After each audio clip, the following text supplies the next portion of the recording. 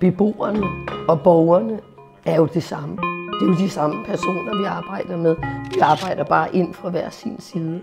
Så derfor er det super vigtigt, at vi får sat den samme retning og trækker udviklingen i samme retning.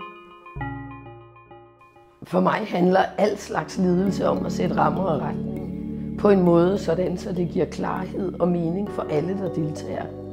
Og når det så er entydig ledelse i praksis, så må vi sørge for, at det er helt entydigt, hvordan rolle- og opgavefordelingen er, og hvordan sagsgangen er, sådan så vi når de mål, som vi har sat op. Og det handler i virkeligheden både om samarbejdet i bestyrelsen, men også hvordan vi leder og udlever helhedsplanen ud til beboerne, som vi jo arbejder for. For mig er det vigtigt at arbejde på tværs af boligorganisationer og, og kommune, når man har en boligsocial helhedsplan, fordi vi sidder med, med så forskellige ansvarsområder øh, og har så forskellige kompetencer i vores øh, professionelle virke, øh, at, at det er vigtigt, at vi supplerer hinanden derinde.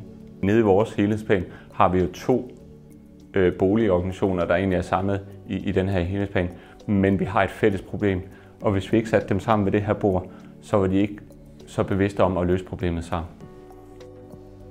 Når vi gør det på den her måde, så, så gør vi jo det, vi er bedst til. Det kan man så sige, at vi, vi er tilføjer og være med til at træffe de strategiske beslutninger. Og vi har en projektchef, der sådan set er, er i det taktiske og, og, og, og det operationelle niveau. Og det er der, hvor, hvor det fungerer, og så mødes vi så i, i hvad kan man sige, det taktiske niveau sammen. Og det kan, det kan jeg se, der sker noget dynamik, fordi vi får, får mixet øh, hvad kan man sige, praktik og teori.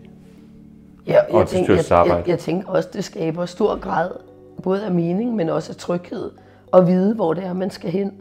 Ja. Øh, og når folk føler sig trygge, og de kan se mening med det, de laver, så får du det bedste frem i alle folk.